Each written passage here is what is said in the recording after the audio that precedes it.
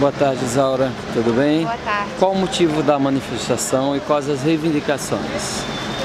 Bom, enquanto está acontecendo as Olimpíadas do Rio, tem uma série de projetos de lei em votação ou aguardando votação no Senado e na Câmara.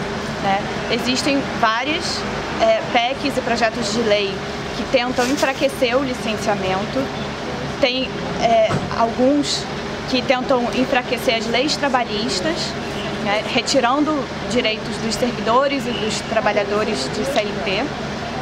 E, para completar, as metas é, ambientais das Olimpíadas não foram cumpridas.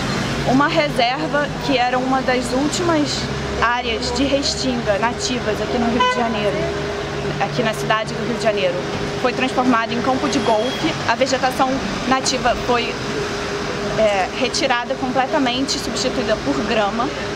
É, a Baía de Guanabara, todo mundo já sabe, continua poluída.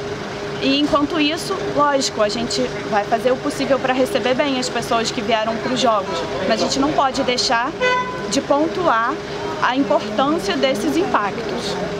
O meio ambiente deixa de ser prioridade, a educação deixa de ser prioridade, todos os gastos que são importantes para o funcionamento mesmo do país, para garantir os mínimos direitos básicos à população, saúde, de tudo que a gente sabe que é primordial, ficam em segundo plano para ter investimentos em jogos, em estrutura que depois vai ficar subutilizada para um, um evento de duas semanas. Né? Então a gente não concorda com isso, a gente quer que o meio ambiente, a saúde e a educação sejam prioridades do governo.